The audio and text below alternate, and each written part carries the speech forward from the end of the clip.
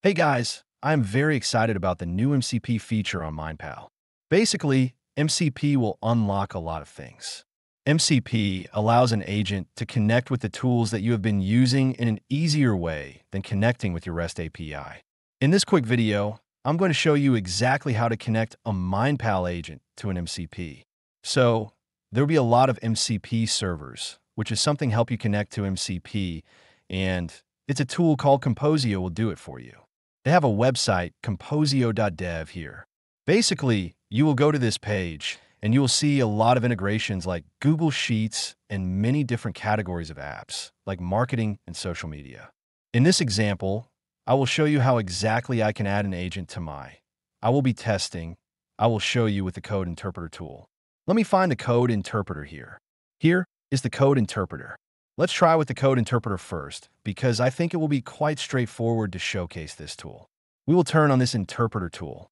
In Composio, to use this tool, you will click the, there will be a bunch of guides here, but basically you will click the generate button here and you will see code. It's quite complicated, but what you only need to care about is the URL here, HTTPS. Copy this code and go to my MindPal. I have the Composio agent as a form demonstration here. I click this agent, I go to the MCP, and add this as a server URL.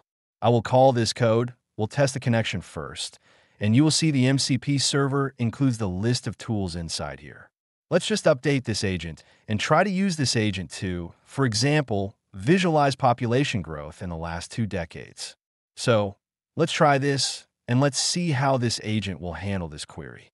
You're seeing that this agent is executing code and after it executes the code, it will get the file. We can click into this to see. You can see now we have the visualization from the code interpreter tool. It's quite impressive. So if you want to build any kind of tool on MindPal previously, you'd probably suffer with the REST API, but now you just need to click the URL in Composio, and you get this done for you. Besides this code interpreter, some of you may not use writing code, but probably I think you may use apps like Notion or Google Sheets. So Let's try something harder. I will go back and I will go to the Notion example here, and I click Generate here to get an MCP for me. Copy only this link, so you need to remember that you only copy the link here. You don't need to copy the rest of the code. I will add this server URL, and I will call it Notion. I add this server URL. Okay, so we'll, let's double check this. Select this Notion as a tool. I go back to home here, and let's open a new thread with this agent. Now I'll ask a question that I, Notion, you see the agent is using multiple calls here. It says that to connect with Notion, we need to provide credentials. To complete the process, we can click this link. Let's click this link. I will select the paste. I already selected a button subpaste here. I will allow access to all Notion bases. It's my personal Notion base and can click here. Okay, so I could test with a real query. Now I will ask this. I notice there's a page called VinUni Capstone Project. I will ask, what is VinUni Capstone? To see if it can actually query my data.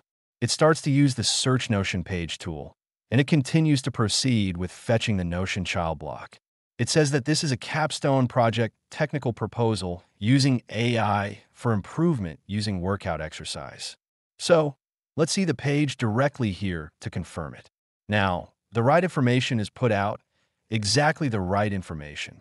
You see, this is how you can pretty easily connect the app to MindPal using MCP and Composio.